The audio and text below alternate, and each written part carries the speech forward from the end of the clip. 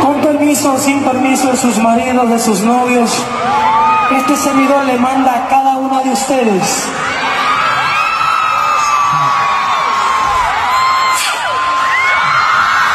Un beso.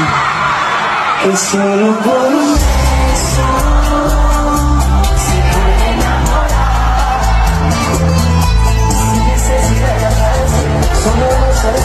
us, make us